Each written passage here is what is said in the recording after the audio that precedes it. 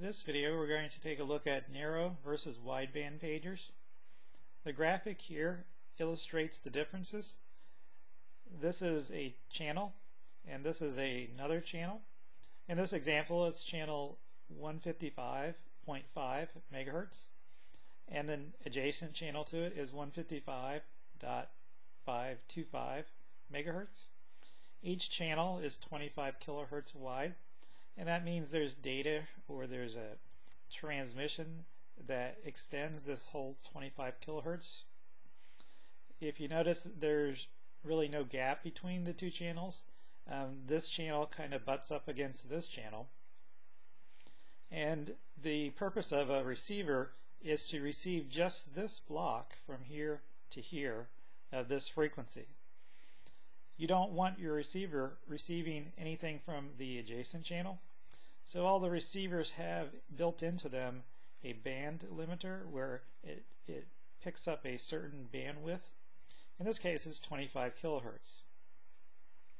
It prevents this pager, if it was on this frequency, from picking up this pager on this frequencies. What narrowband does is it adds a additional channel in between and it reduces the bandwidth of the uh, transmitter from 25 kilohertz down to 12 and a half kilohertz. And what this does is it allows a extra channel in between existing channels.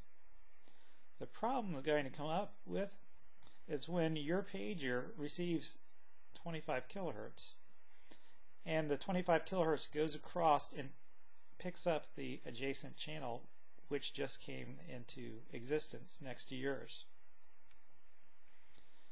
This extra channel which is in between your old channel and the channel next to you didn't exist a few years ago. So what the new narrowband pagers do is they only receive a transmission of 12.5 kilohertz instead of the old 25 kilohertz. So the new pager set at 12.5 will only receive from here to here. It will not receive any transmissions from the new channel which might be next to you. Do you really need to go to narrowband for your pagers? That's the question. Most likely you have no new channel here. It's very unlikely that the FCC would have allocated a frequency right next to yours immediately after going to narrowband unless you were in a congested area or area that had a lot of channels that were already in use you could have a transmitter right next to your frequency and if that's the case your old wideband pagers could receive a little bit of this signal which is adjacent to your frequency. Most likely that's not the case and you can continue to use your wideband pagers until there's a new channel which is put in next to your channel. If you're out in the middle of nowhere that could take years, it could take 10 years, 20 years. It's hard to say exactly when a channel would be put in next to yours and in close proximity to your receiver. In other words, your pager. It doesn't matter if a channel is put in next to yours, but the channel is very far away, you know, it's 20, 30, 50 miles away, and it's a low wattage channel. What is going to happen is if you this channel is put in next to your channel, it's a fairly high wattage, and it is received fairly strongly by your pager. This channel here can bleed over into your pager and you can hear a bit of this transmission. It, might, it most likely will sound garbled. It might sound um, very weak, and you might not even notice it most of the time, but occasionally you may get some transmission leak over from this new frequency into your frequency. So here's a picture of a Minitor 4 pager. All the Minitor 3s and the Minitor 4s are wideband pager that none of the pagers were ever made in narrowband. The pagers themselves will work just fine on narrowband.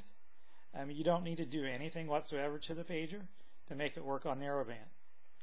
The pager itself really doesn't use the entire 25 kilohertz bandwidth. It only uses a smaller portion of it. And so the audio signal coming across the pager will be just fine if you're transmitting on narrowband. Um, it's unlikely that you'll even notice anything at all once you switch from wideband to narrowband if you're using the old wideband pagers. So there's no need for any type of concern. If you have these old pagers, um, they should work just fine for you. The only problem you may come up with, which I explained in the last slide, is if a adjacent channel is put in next to yours and begins transmitting. This pager has the possibility of picking up that adjacent channel to yours. You'll know it if it happens because you'll start getting uh, garbled messages, you'll start um, getting static, you may even pick up a little bit of the transmission of this transmitter that's next to yours. If that happens, there's nothing really you can do about it. You're going to need to get new pagers because these are all going to be wideband pagers and there's really no effective way to make them narrowband. So some of the questions uh, that are often asked about um, making your pagers go from wide to narrow or narrow to wide, and especially the Minitor 3 and 4 pagers, are will the Minitor 3 and 4 pagers work on a narrowband system?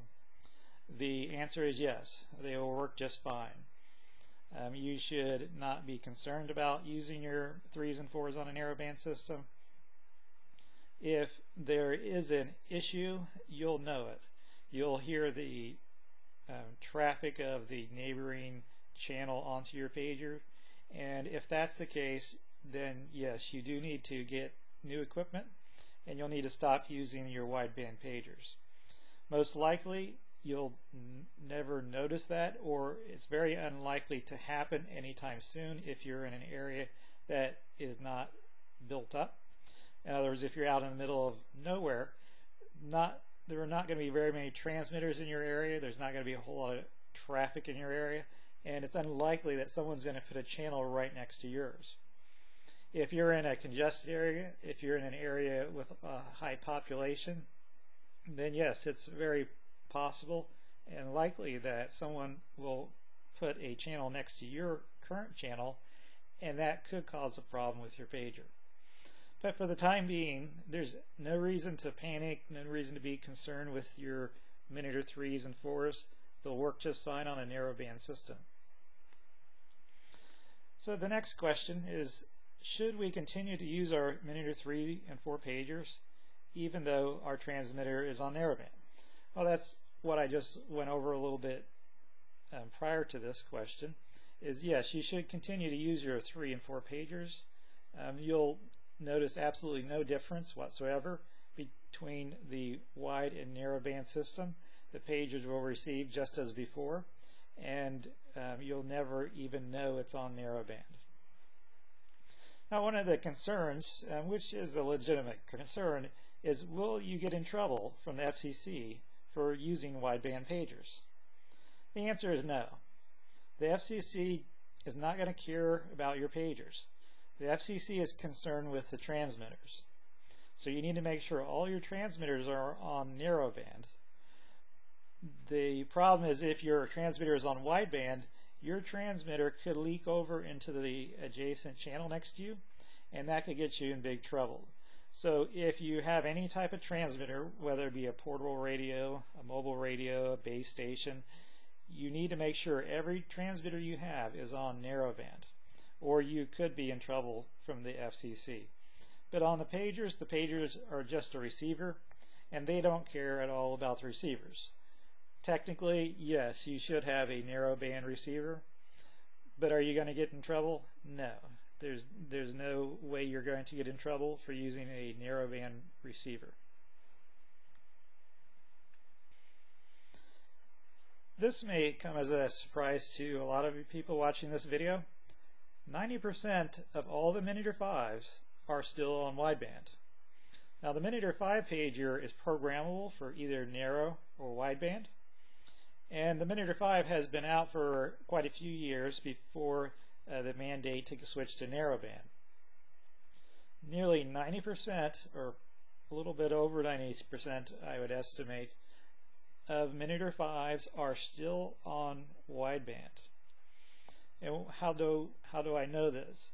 We get these in our repair shop all the time from all customers all across the country.